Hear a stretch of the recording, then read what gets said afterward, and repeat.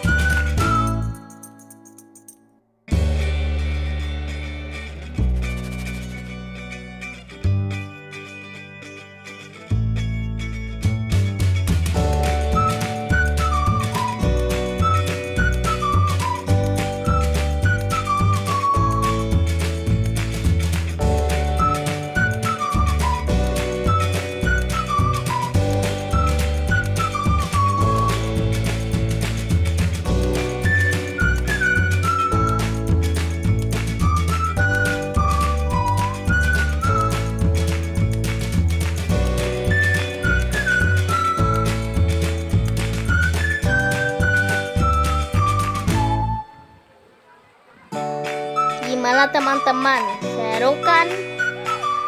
Jumpa lagi di jalan-jalan Faris berikutnya ya. Assalamualaikum.